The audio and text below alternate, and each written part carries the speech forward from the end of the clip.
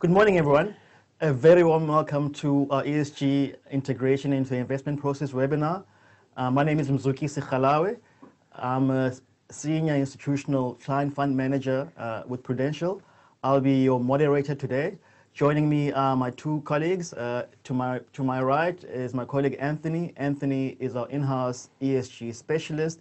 Anthony has been uh, a representative to the UNPRI since 2007 and as such he's played a leading role uh, in developing a responsible investing uh, policy. He's also played a leading role in developing our inaugural uh, stewardship uh, uh, report. Um, Anthony, welcome. Uh, dialing in remotely is my colleague Adil. Adil is head of research and he's also part of our equity portfolio management team. In that role, he plays a supportive role in managing our in-house, uh, you know, house view equity portfolios. It is also a co-portfolio manager for our flagship uh, Prudential Equity Fund. So in terms of uh, housekeeping, uh, today's event is a CPD event. Uh, so we will be making the CPD certificates available in the next two weeks. Uh, we'll also be making the recording of this webinar available together with the visual aids we're going to use today. And then just lastly, uh, we have received a lot of questions from the audience. I think there's about uh, over 500 people attending the, the webinar today. Uh, what, we, what I've sought to do as your uh, moderator is to distill those, and I'll be directing some of them to my colleagues. But please make use of our live chat, um, our live chat feature. Um, we do have a team of experts on standby that will assist us answer your questions, but we've selected a few questions to answer towards the end of the, the webinar. So the topic today is uh, ESG integration into the investment process. And I think uh, to kick off the presentation, uh, my first question is to you, and responsible investing is, is quite a broad topic, uh, and it's one that you know has you know uh, you know an, a, a, plethora of uh, alphabet soup, where there's different sort of approaches uh, so just to give you a sense, uh, we, we talk, we hear about uh, social responsible investing, we hear about conscious investing, um, and then obviously ESG is, is one of the, the, the, the tried sort of uh, strategies that we've seen out there.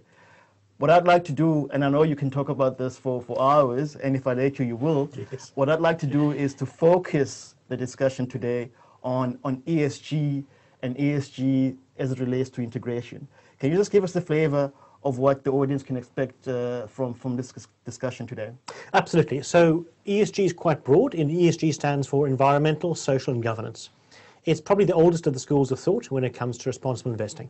For the sake of simplicity, ESG can be split between your engagement side, that's where you drive companies for change, uh, you try and influence companies, and you try and get information out companies.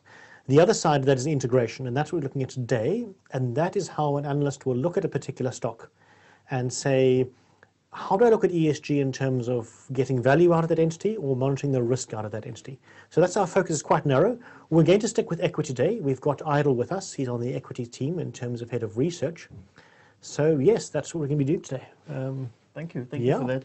Adil, welcome. Um, just the, this question is to you, really. Uh, as you you you you wear two hats. Uh, on the one hand, you're head of research. On the other, you're portfolio manager.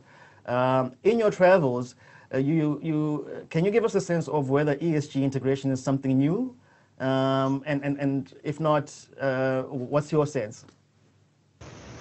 Yeah, sure. Thanks, Zuki. Uh, thanks for for hosting, and thanks, Ant, for joining.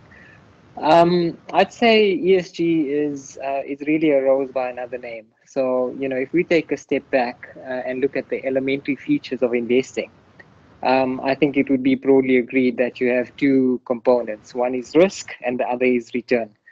Um, Aesop's fables, kind of a couple of thousand years old, um, says that a bird in hand is worth two in the bush. And the gap between the bird in hand and the two in the bush is really risk.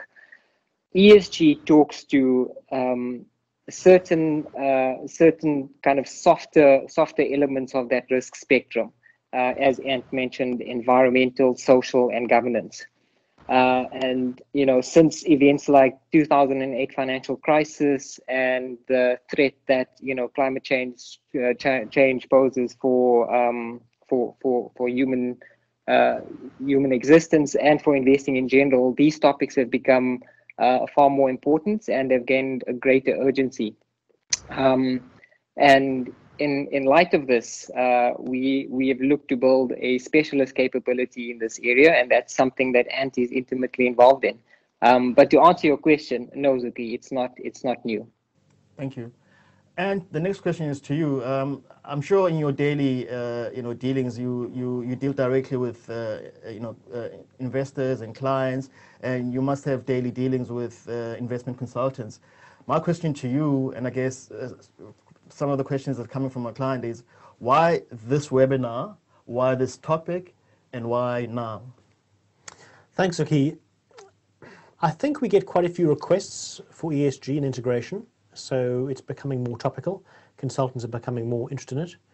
We're also seeing that as those requests come through, there are quite a few misconceptions that we want to address. And I think we're probably going to do that before we get into the actual integration process. Uh, the first is that it's some kind of mystery black box, that we have some magical process or secret sauce that we apply to stocks and we get some kind of answer that can discount cash flows. And I, I think we want to address that quite quickly.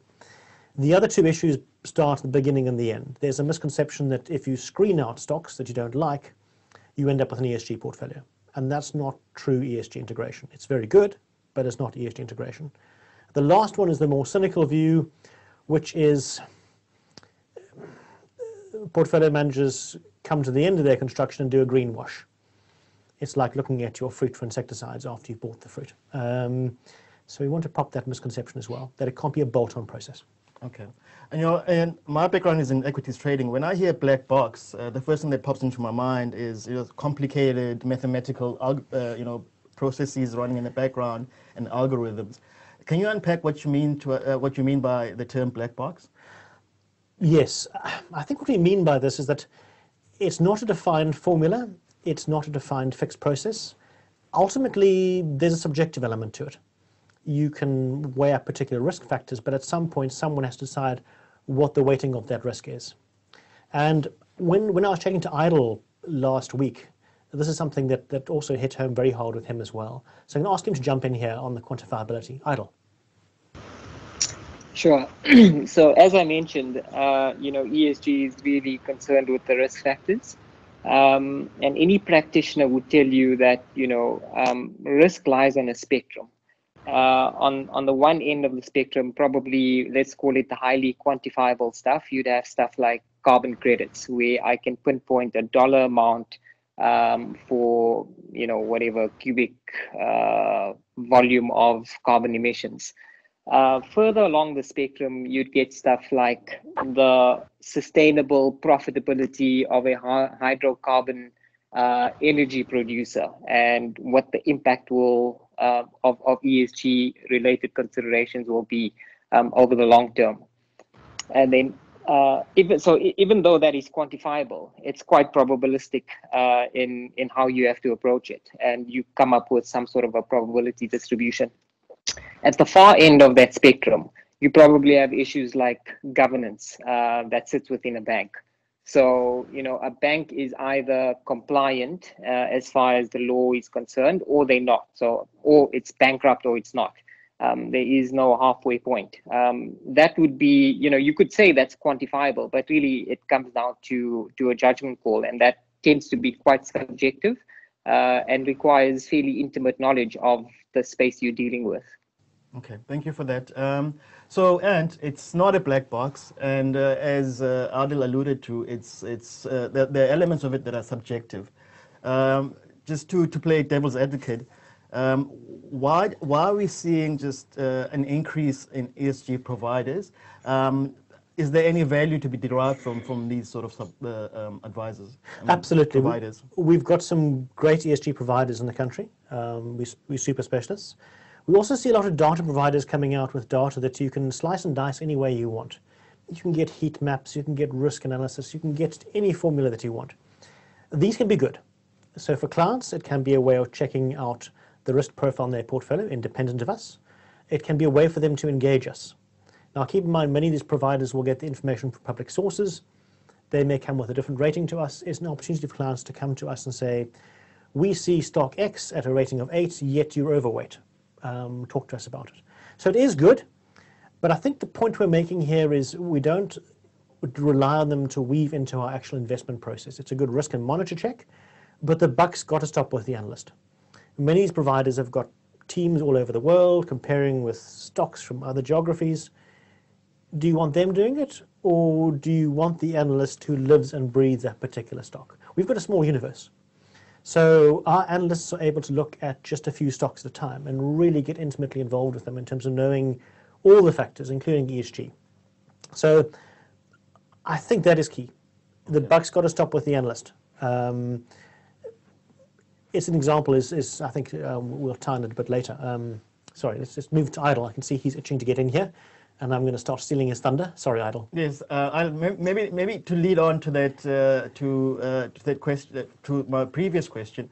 Um, so what I'm picking up is uh, we're saying that ESG integration has to live within the investment team and it has to be uh, part of the investment process DNA. in your role again as as both head of research and portfolio manager, are you seeing this coming through? And if so, just give us a sense of how that looks like.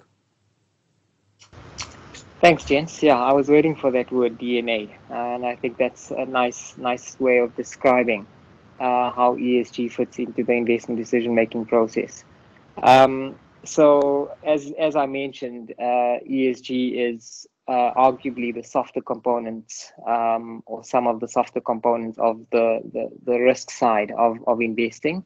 Uh, in so being, it has to be part of the DNA. Um, so fundamentally um, we should assess the risk of an investment alongside the potential return. Uh, and ESG would fit quite neatly into in, in, in into that framework. Um, I I guess the, the the most topical and recent example would be Steinhoff. Um, so you know, to Ant's point uh, of kind of greenwashing, um, Steinhoff would have ticked all the boxes. So they had a big four audit firm. I'm sure they had, you know, a very credible audit and risk committee and all the statutory reports.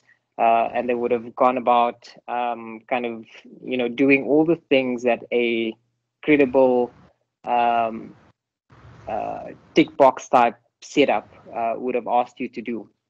Um, but at the end of the day, they just, you know, they they, they weren't effectively governed uh, and and the government governance element element um, was was missing.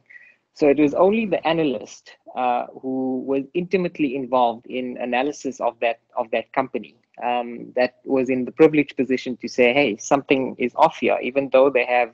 Uh, you know, a big four audit firm. Um, something doesn't quite sit right to, with me, uh, and that's very difficult to to quantify and put into a tick box type framework. Um, yeah, I'll, I'll, I'll leave it there, Zuki. And just to pick up on this theme of uh, quant- uh, not being quantifiable, in, in, terms of the questions that you get from investment, uh, uh, you know, consultants and clients, what would they be trying to quantify? Yeah, this happens quite a lot. We often get quite a few questions from consultants saying, how much does ESG contribute? Does it make a difference? In terms of alpha. Alpha, is it positive? Is it, is it good? We know it's good. In examples like African Bank and Steinhoff, it's easy to say we went maximum underweight Steinhoff, or we held zero positions, one of the two at any time. We got great benefits from it. That's fairly easy. African Bank, again, avoided the equity, it's easy. But in many cases, ESG issues are very subtle. It can be governance concerns, and we'll pick up this later on the portfolio construction, that just makes a portfolio tilt a bit in a different direction away from one stock. So quantifying it is really difficult. An example would be um, cash flows. It's like asking us, how much alpha do you get from analyzing cash flows in a company? It's very similar to that. ESG is not a separate process. It's part of a larger matrix. I also want to be clear at this point that we don't look at every single ESG aspect. I don't want viewers to be under the impression that asset managers sit with a massive tick box and go through all the, we look at the, the material and pertinent issues on the integration side. On the engagement side, you've got more flexibility. There you can engage clients on things like recycling and green energy, and we still do that on the engage on the integration side, um, but it's a bit more focused. Okay, okay, guys. So it's not a black box. Uh, it's typically subjective. Uh, I want us to just look at the investment process, and at this point, we'll just uh, pull up a, a slide. Um, so if you look at how the process starts off, uh, we we filtered the universe, screening for you know value screens, um, and I know that uh, well before we, we, we, go to you and um, um, we've discussed the theme Adil about you know the the investment process uh, or your ESG having to be part of your investment process DNA. What are the dangers? And we talked about uh, not uh, a bolt-on approach not working? What are the dangers of having that bolt-on approach? Uh, so in other words, what are the dangers of, ha of, having an ESG department sitting outside of the investment team? Could you talk to us about that? Yeah, sure. Um, I'd say two things, Uki. So, you know, the first one is is one of credibility. Um, something this audience might be familiar with. If you walk down the road to your local coffee shop, um, you would expect that you know the coffee beans are locally and ethically sourced well not locally but ethically sourced and you'd assume that uh, the water that goes into the process is um, is safe for consumption if they had a um, compliance officer let's say at the uh, at the checkout counter um, who stood there with a, a, stamp to, to to to stamp your takeaway cup. I mean, it just you know takes away from from the credibility that um, that barista actually went through the effort of of doing what was the cre- credible thing to do. Um, and that, that's why we believe you know bolt-on processes um, whilst they, they they may they might uh, hold a place for um, for for some uh, we feel it's better to have the, the process integrated um, secondly, uh, it's the, the, the, second consideration is an altogether human one, and that's the, the, the, the, concept of sunk costs. So if somebody has gone through the process of doing a bunch of work um, and you know doing all the fundamental uh, fundamental analysis uh, to come at the tail end of that process, uh, at the point of decision making, and say, hey, listen, I think you missed X, Y, Z um, and all the work you've done is worth naught. Uh, that you know that just doesn't fly. People will resist that tooth and nail, um, and the conclusion will have been reached. Uh, and that's why it's probably you know um, of of uh, utmost importance to have this this process uh, integrated from the very beginning. Um, yeah. yeah. Thank you for that. And the next question is uh, to you. So if you look at a, a, a typical investment process, as I, as I alluded to earlier, the first step is, is screening for, you know, to filter the universe down, you know, using value assessment. Should we also be screening at this stage for, you know, ESG factors? I know that is something that you're very passionate about.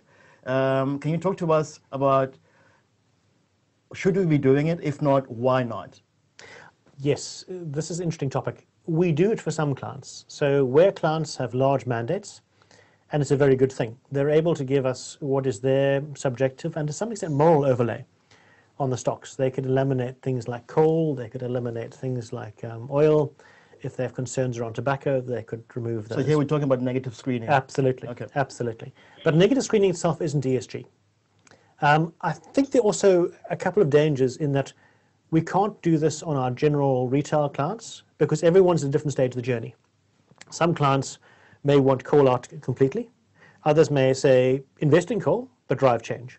Others may say invest in coal, but drive regulatory change. Others may say invest in coal, but there's a just transition coming.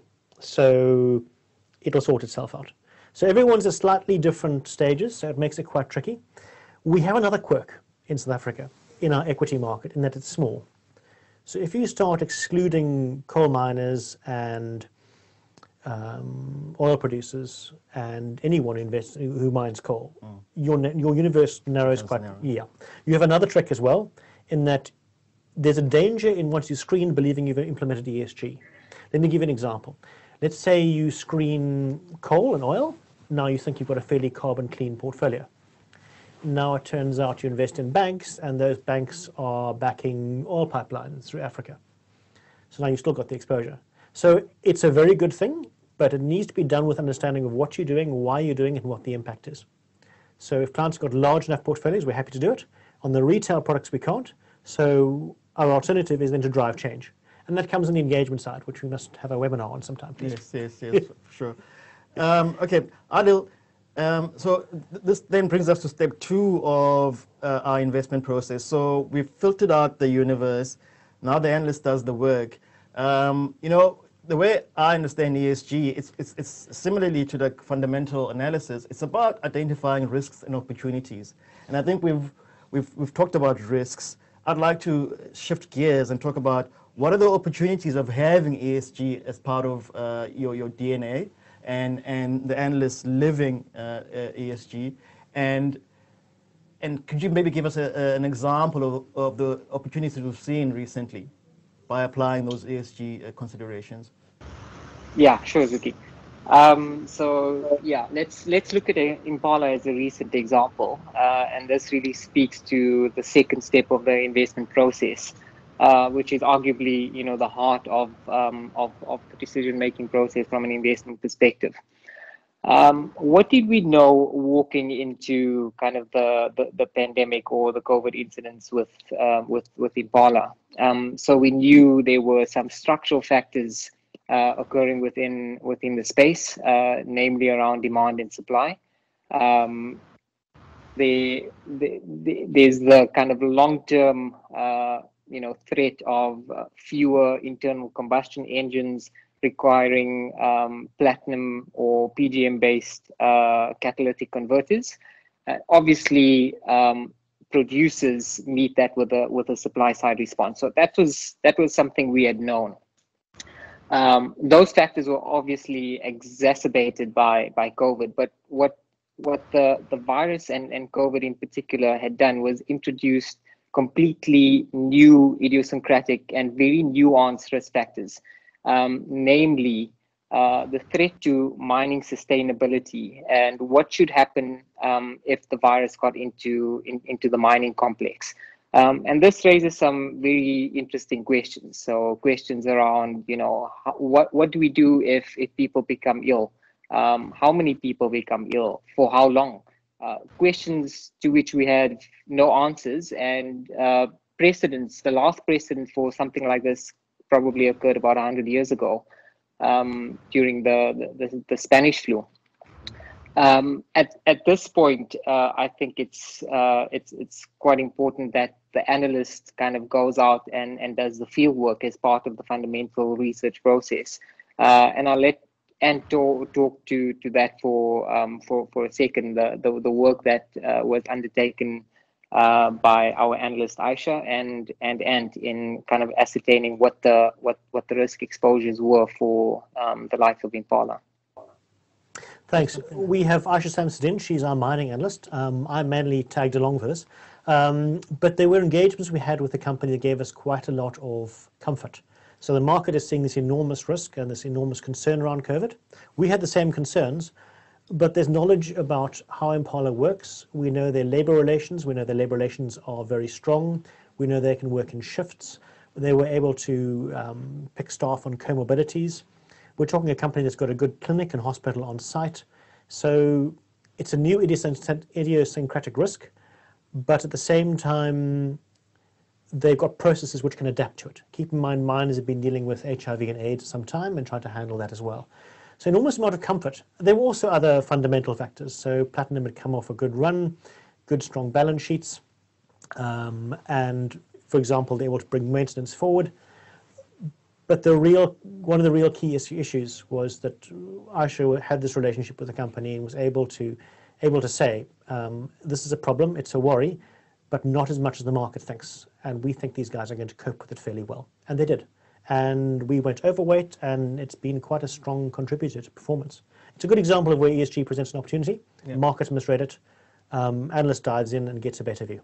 It also reinforces the, the, the point we've been making throughout uh, the session that it, it absolutely has to sit within the analyst. Yeah. Good. Uh, Adil, so so now we've we've we've done the filtering. Uh, the analyst has done the work. Uh, just take us through what the next step uh, in that feedback session will be. Sure. So um, at this point, you know, the analyst probably has a, a bunch of information, um, and that uh, will be presented to a larger forum uh, what is arguably our our research forum, uh, investment uh, research forum. And uh, the the issues at hand will be debated. Um, sometimes quite hotly. Uh, you know, other times there's fairly broad agreement when when when issues are are, are easy to reach a conclusion about. Um, at that point, uh, a decision is either reached, um, or if there are any loose ends, uh, we ask the analysts to go back into the field uh, and kind of tie up those loose ends. Um, but to the extent that a decision is reached, we would typically look to implement in portfolios. Um, in the case of Impala, we increased our exposure, and that worked um, pretty well at, at that particular point in time. And I see you interested to jump in here. Please go ahead. Mm, thanks. Um, I think this is where it's very important that uh, we emphasize that this becomes a team matter and that the team debates this very thoroughly because someone might have seen this before old hands, senior portfolio managers can come in and say, I've seen this before in X stock, or I've seen something similar. Or you simply get that diversity of views that you need um, to give enough input to come to an answer. It's an area where we saw some of our peer managers, and some are really good managers, really good value managers. But if you've got a very strong portfolio manager who's got a very singular view and a small team or operates quite on his own, we saw that's where things like Steinhoff and African Bank get missed. Okay. Um, because you, you didn't have that depth of experience and you didn't have those voices coming out. Um, in our case, we had Craig Butters saying there's a big concern, but it can also be a case of an analyst saying something and another manager picking up on that and saying, you know, I see you worried there. Let's talk more about that. And that's where we can wrap up loose ends as well. Um, you can pull in a thread and say, you've touched on this. Can you go and do some more work on that? Chat to Ant. Let's go and do some engagement there and see what we can find out. So you're saying a team-based approach uh, is one of our competitive edges? It's a competitive edge, and I, I, really think it's key for ESG because it's got to live with the analyst, and they've got to be experts in ESG themselves. Um, absolutely. Adil, so the next uh, point in our investment uh, process is portfolio construction. Talk to us about portfolio construction in relation to ESG integration. Sure. Um, so it gets a bit nuanced here, Zuki. Uh, and at this point, we we try to give um, portfolio managers the um, their degrees of freedom. Uh, you know, as a generalization, uh, I'd come back to Aesop's fable: um, "A bird in hand is worth two in the bush." Um, is uh, is is it you know is is two the the, the, the right number of birds? Um, which bush? Uh, those those sort of questions need to be debated. So uh, another way of saying it is, you know, if I am going to take on X risk, um, what uh, what do I expect in return from a compensation perspective? Um, a typical example would be, you know, we, we're looking to uh, increase our exposure to the mining sector. Um, and if there are two companies that offer similar uh, return prospects, we would ideally choose um, the stock with fewer risk factors, and that would be fewer ESG risk factors, um, and and vice versa. Um, yeah, I think you know I'll I'll I'll, I'll leave it there, Zuki. And made the point earlier that you don't look at every single ESG factor, and that you focus on material ESG factors. Um, so I think then the final stage in the investment process is uh, risk monitoring and control. And I know that you play some sort of role here. Uh, do you want to talk to us about what role you play and give us an example of, of uh, you know, where you contributed? Yeah, my role comes kind of right at the end. I think it's important to note that um, the risk still sits with the analyst. Um, and ultimately they're responsible for the risk on their stock. So they have to do ongoing monitoring of the particular risks, and the portfolio manager is still doing risk controls on their side. How does their portfolio look? What's their overall exposure? And that's an ongoing process. Right. In addition, we also have an investment oversight committee, which tries to bring an independent view as well to look at uh, total fund and total company exposure, so we can pick up any common threads or red flags that we see on, on, a, on a much more broad basis you run the danger of slightly getting back into that black box area right. where you're trying to measure risks and make subjective calls, but you have the benefit of an outside team. And there we may even use outside providers um, to bounce information off. And, as a health check. As a health check, absolutely, absolutely. Um, in terms of examples, yeah, two quick examples. Um, we had a stock last year, I won't mention the name, They had some issues there around um, one non-executive director passed away. We had the CEO resign. He had conflict with other directors there. CFO also resigned temporarily in sympathy. Um, there was a board investigation into proprietary, in proprietary actions. Um, the culture was just unhappy and the strategy wasn't clear. And that would be an area that flagged up, for example. So at that point, we then started moving the engagement sphere, talked to the company. Uh, we appointed two directors to the board. Uh, company's doing much healthier now. It's ongoing engagement. A couple of concerns we're ironing out. Um, but overall, we've got great relationship. The CEO is back. Um, that's a good example of how that ROS monitoring process plays out. But I want to make the point that you don't always get a happy ending. Um, let's take Sasol as an example. It's between a rock and a hard place. Uh, they're restructuring at the moment. They're in some financial quandary um, as to how they're going to go forward. They need to go to green energy, but the capital isn't there. Uh, at the same time, your regulatory issues in terms of moving away from Eskom becomes tricky. So they've really got themselves in a tricky position. And there it can be largely a game of just monitoring, getting continuous information, understanding what's going on, how that could work. For them, for example, 87% of their pollution comes from one plant, Secunda. 50% of that comes from power generation. 50% comes from feedstock into the process that makes your petroleum and wax products and oils. Uh, and they've got to change that. So if that changes, we see a radical shift. But until then, they can't get there, and they're in quite a difficult space. So that's an example where you haven't necessarily got a really happy ending. You're just kind of watching how it plays out. Okay. I think this uh, this uh, is a nice case for having a, an engagement webinar yes, sometime in the future. I think, guys, thanks for your time. Uh, before we go to uh, questions, uh, any closing thoughts? Uh, and I'll start with you, Adil. Sure, Zuki. So I'd say the the the key takeaway um, from my perspective is um, ESG is really part of the risk spectrum of investment decision making, uh, albeit on, on, on softer issues, uh, and it should be viewed as such. Um, and you know, just keep in mind Aesop's fable: a bird in hand is worth two in the bush, um, and you got to decide what the gap between the bird in hand and and the two in the bush um, are worth.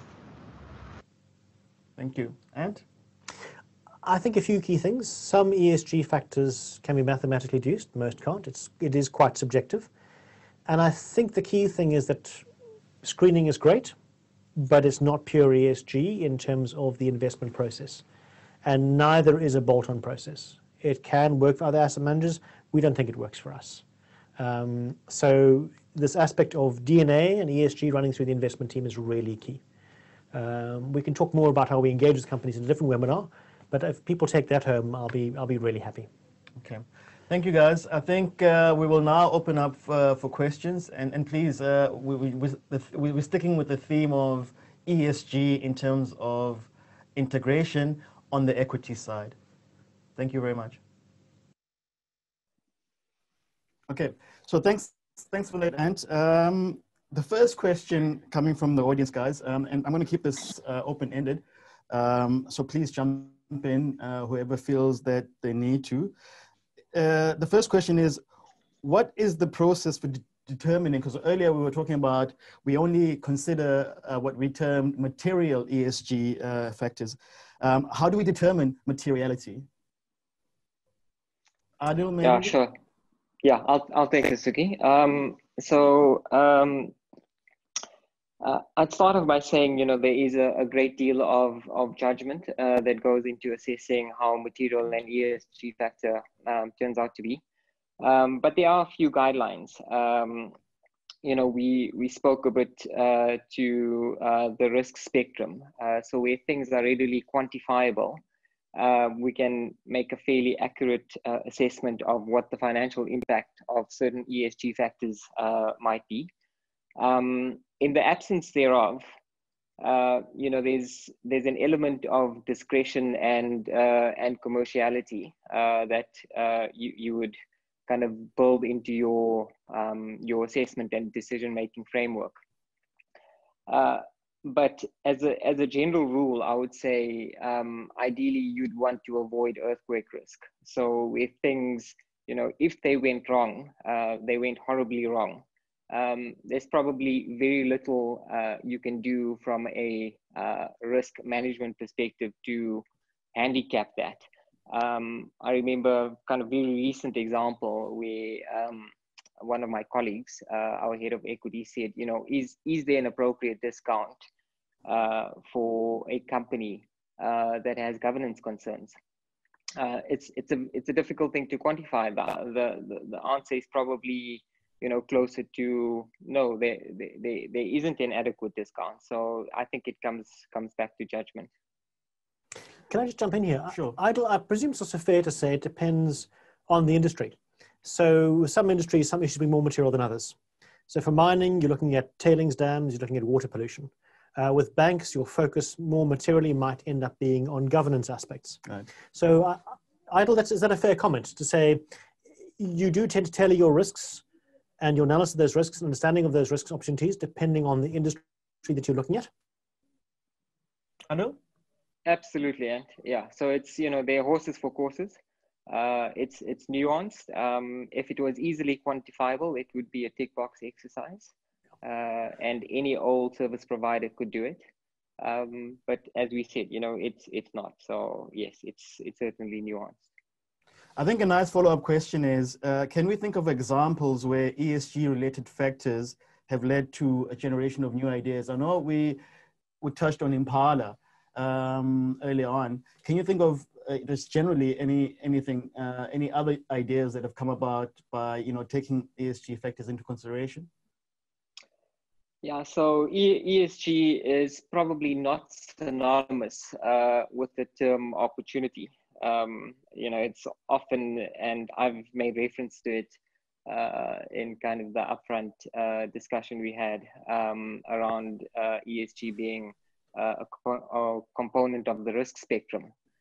Um, but you know, I remember uh, talking to Ant um, kind of right up front as we were preparing for this webinar, uh, and he used the term um, two sides of the same coin, uh, where risk is the one side and opportunity is the other side. Uh, yeah, me memory doesn't really, um, nothing springs to, to mind in terms of recent uh, examples of where ESG uh, might have been an opportunity. Uh, but the avoidance of loss, uh, I would say, is also an opportunity. and if it's if ESG factors have steered us in a particular direction, um, that could be seen as as opportunity for something we might not otherwise have have looked at. Uh, I know uh, Ant has uh, some examples around uh, the, the, property sector that might be more applicable to, to the question. Yes, um, I think a good point to make is we're not seeing massive shifts. So you are seeing new industries coming out of the ESG. You are seeing uh, wind farms and um, clean energy. Those unfortunately aren't always listed, so that isn't always our space but I think it's easy to, to mistake the fact that we're also seeing opportunities come up on a more subtle level. Um, Adil mentioned property, that's a good example. So as they move to clean energy, they're finding all kinds of benefits in terms of cost saving, uh, stability of power supply in, in blackouts. Um, so ESG isn't always the massive structural shift that people seem to perceive, perceive it to be. It can be in some instances, but in some cases, it's existing industries where people are changing their behavior and those opportunities are coming out. And I think that's, that's a really interesting space, particularly those who've got the first mover advantage and start adapting quickly. That's a very interesting point. Thank you for that. Uh, then staying with you, Anthony, um, the next question from the audience is, um, where do we uh, source our ESG information? Is it from company meetings? Is it in-house? Uh, do we rely on, on, you know, broker reports? Do we rely on, you know, ESG data providers? all of those. Um, I think a strong provider, the, the biggest component is going to be your in-house research. That's your analyst doing a tremendous amount of homework on public documents and understanding the financials. Your company is going to provide you with some information. Some companies are more transparent than others, but some are really good. And then we talk to them and we engage them, and it's a good litmus test for ideas. So you get a mm-hmm. you get a, a perception idea. You go to the company and say, we're thinking you're doing this, we're thinking this works and doesn't work. Can you talk to us about that? And that may influence factors. We do have some ESG providers on, on particular stocks, which are fantastic. Uh, we've got the High Perisec, really good. Farsight, awesome. Integrum are great. Uh, a new, there are quite a few out there that are really good.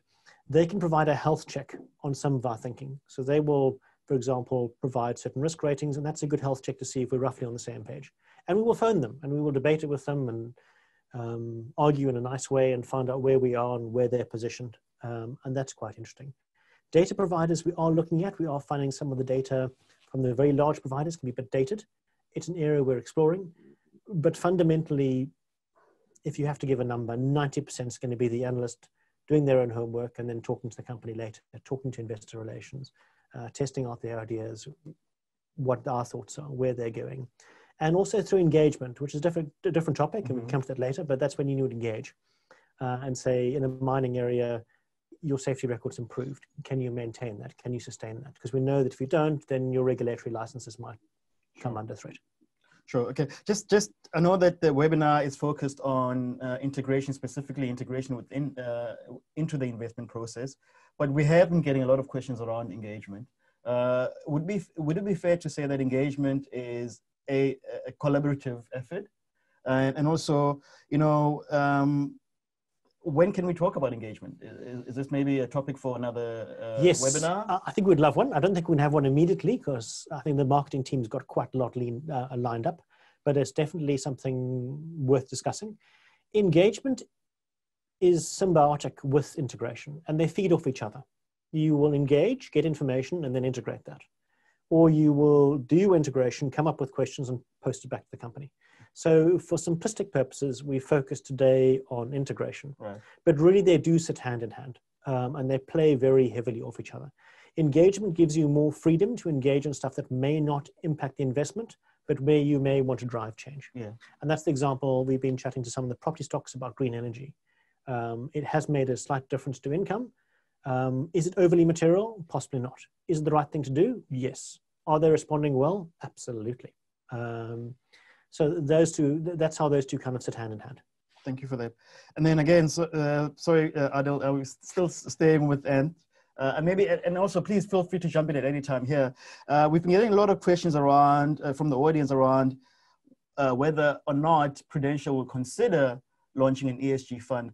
I know that uh, we, we touched on, you know, the, the structure of our market versus perhaps international markets. Um, so I'll open this up to, to, to any of you guys are we at any point considering uh, launching an ESG fund? I think we're always open to new opportunities. As we've highlighted, there is the danger that our universe can become quite short depending how you define that.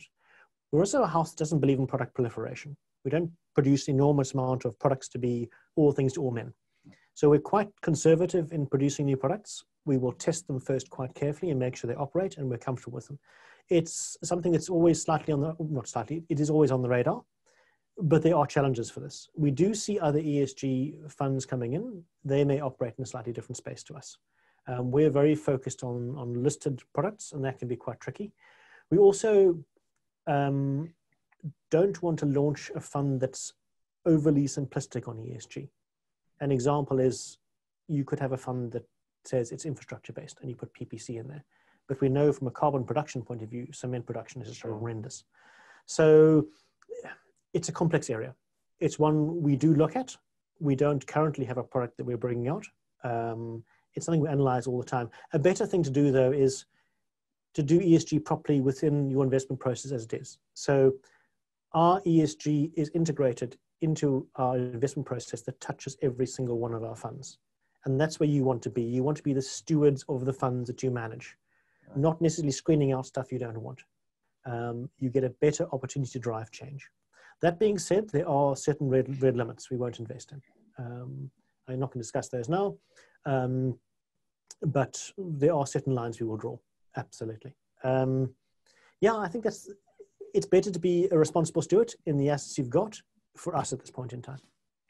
Adil, uh, wearing your uh, head of research, uh, you know, hat, Talk to us about ESG funds in relation to the structure uh, of the JSE, especially then if you if you uh, you know apply further screens in terms of liquidity and, and so on.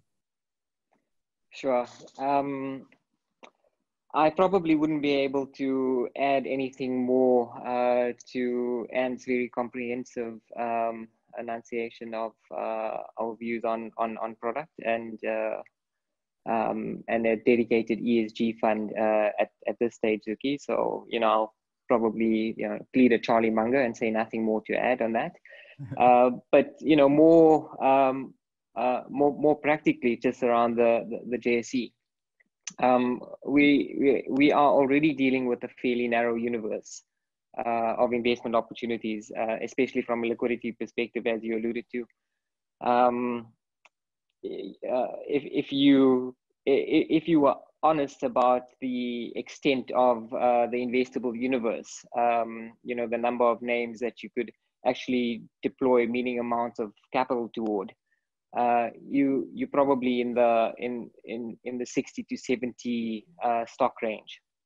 Um, adding uh, further uh, filter on onto those names would obviously you know um, would would reduce that that number quite uh, quite considerably, uh, which narrows the investment opportunity set. Um, so you know it's there, there is a there is a practical consideration uh, to what sort of investment objectives you you can achieve uh, by being too prescriptive around ESG filters. Just to add to that, I mean, I also wanted to make the point that we do do screening for certain clients. For large clients, we can do it on, on request. But again, everyone's at a different stage of the journey. Um, on request, we can do, uh, and we do do, and that's great. But then you need to shift your benchmark um, you can't maintain the JSE as a benchmark to measure performance right. against and then exclude large numbers of stocks. So it has to be like an ESG related in index. Yes, and, and, clients can talk to us about that if they want to. We do have clients that have done that, and that's fantastic. Um, but they do need to talk to us about that uh, okay. upfront. Um, um, and then again, this is another open-ended question from um, Isaac, and I think we've touched on this in different guises uh, when we talked about, you know, uh, it, are ESG factors quantifiable? Uh, Isaac's question is are investments in ESG profitable, taking into consideration the size of the SA economy? Yes, we've seen examples where we've definitely benefited strongly from ESG. I mean, Steinhoff comes to mind. Sorry, it's the horse we drag out, but it is it stands out. Um, we also see it sort with African Bank, but we've seen it more subtly as well. Um, when companies fail spectacularly, and typically in the governance side, we don't always see it like a Steinhoff. doesn't always make headlines. Often it's an entity that's stumbling along, stumbling along in spite of itself. And what you'll see is that entity will slowly collapse and then unbundle to different units. Those units might get listed. The rest will fade away into buyouts. Um, understanding that process and avoiding those companies or coming in at, at, the, at the listing stage of the unbundling is a good place to be.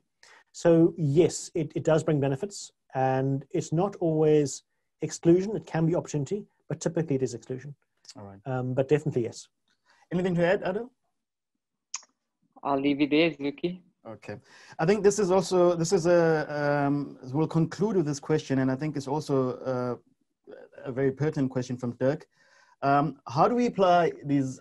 I know the focus today was around equity. What Dirk wants to know is how do we apply the principles we've discussed? The you know like how do we integrate ESG factors when we think about debt? And I guess uh, you know, here we're talking probably around SOE debt. Uh, that's a great question. It's a very similar process. So the analysts going through the, the, the same stages. Um, the universe is a lot smaller.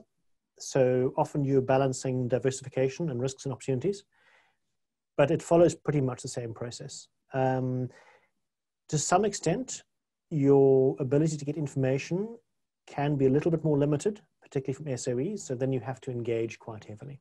Okay. Um, see if I can think of an example. So, so, so uh, around SOEs, uh, what are the, you know, so like there's E, there's S, and there's G. I would imagine uh, most of the issues are around governance. Most are, but not always. So, okay. for example, we've had uh, great engagements with Rand Water, for example. They're sinking boreholes, supporting communities, uh, monitoring leakage to those communities um, in terms of getting the government mandate out of, of of, of uh, providing services. And keep in mind, they don't have to be super profitable, they just need to be stable and financially viable to make the coupons. So there you can have those conversations. But you're quite right, a lot function around governance. Mm. Um, but it really is the same process. You look at your universe, um, you understand the risks, you engage the company, the analyst comes to a view, They'll bring it to the credit meeting. They will discuss it further. They may come back for further engagements. Uh, we may discuss those with the SOEs.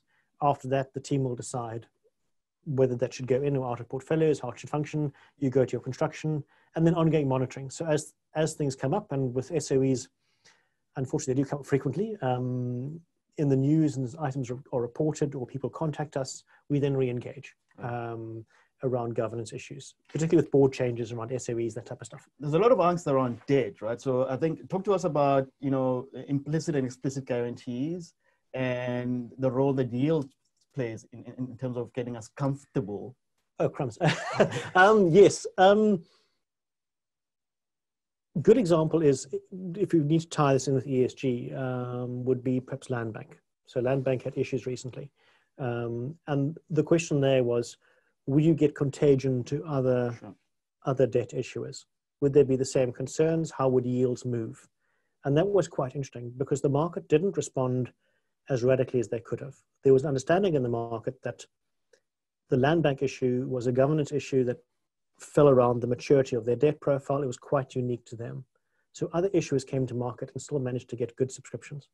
So it, it's focusing on that space um, and understanding how those yields could move but you're quite spot on.